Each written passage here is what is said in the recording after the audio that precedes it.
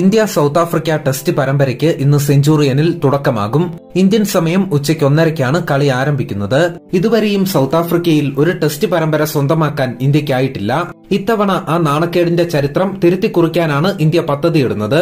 South African മണ്ണിൽ ഇതുവരെ ഏഴ് ടെസ്റ്റ് പരമ്പരയിലാണ് ഇരുവരും ഏറ്റുമുട്ടിയത്. അതിൽ ആറ് ടെസ്റ്റ് പരമ്പരയിലും സൗത്ത് ആഫ്രിക്കയാണ് വിജയം നേടിയത്. ഒരു പരമ്പര പോലും ഇന്ത്യയ്ക്ക് നേടാനായിട്ടില്ല. മൂന്ന് ടെസ്റ്റ് അടങ്ങിയ പരമ്പരയിലാണ് ഇത്തവണ ഇരുവരും ഏറ്റുമുട്ടാൻ ഒരുങ്ങുന്നത്. ഇന്ന് സെഞ്ചുറിയൻ ടെസ്റ്റിന് പിന്നാലെ ജനുവരി മൂന്നിന് രണ്ടാമത്തെ ടെസ്റ്റും ജനുവരി പതിനൊന്നിന് പരമ്പരയിലെ അവസാന ടെസ്റ്റും ആരംഭിക്കും.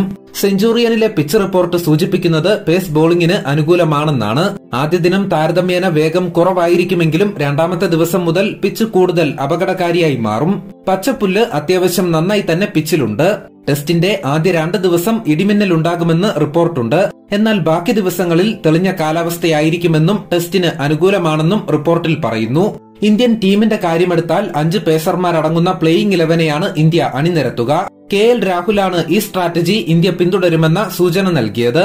ഇന്ത്യയുടെ സാധ്യത പ്ലേയിംഗ് ഇലവൻ ഇങ്ങനെയാണ്. കെ എൽ രാഹുൽ മയാങ്ക് അഗർവാൾ എന്നിവരായിരിക്കും ഈ ടീമിലെ ഓപ്പണർമാർ ചേതേശ്വർ പൂജാര മൂന്നാമനായി എത്തും വിരാട് കോഹ്ലിയാണ് നാലാമത്.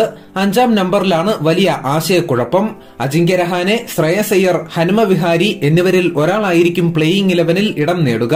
ഋഷഭ് പന്താണ് ടീമിലെ വിക്കറ്റ് കീപ്പർ ആർ അശ്വിൻ പ്രധാന സ്പിന്നറായി എത്തും ഷർദുൽ താക്കൂർ മുഹമ്മദ് ഷമി ജസ്പ്രീത് ബുംറ എന്നിവരോടൊപ്പം മുഹമ്മദ് സിറാജ് അല്ലെങ്കിൽ ഇശാന്ത് ശർമ്മ എന്നിവരിൽ ഒരാൾ കൂടി പേസ് ഡിപ്പാർട്ട്മെന്റിൽ ഇടം പിടിക്കും. എന്തായാലും ആവേശകരമായ ഒരു പരമ്പര കാണാനാകുമെന്ന പ്രതീക്ഷയിലാണ് ആരാധകർ.